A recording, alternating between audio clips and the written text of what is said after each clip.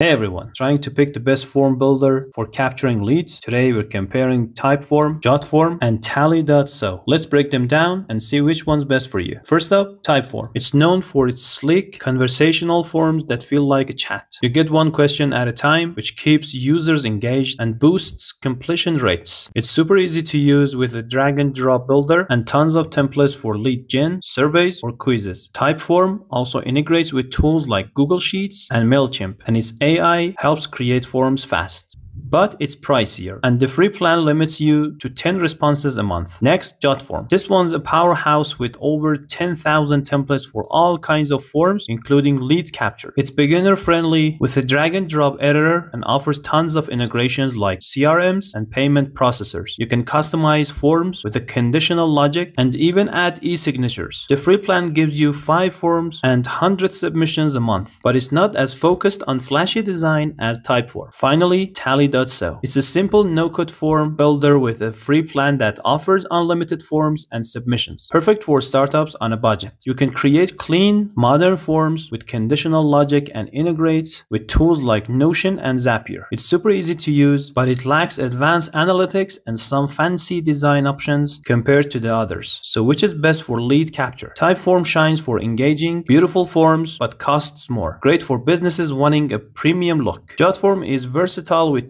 tons of templates and integrations, ideal for teams needing flexibility on a budget. Tally.so is the go-to for simple, cost-free forms but misses deeper analytics. Pick Typeform for style, Jotform for all-around use, or Tally.so for free, no frills, lead capture. That's it. Let us know which one you would choose in the comments. Like and subscribe for more tech tips.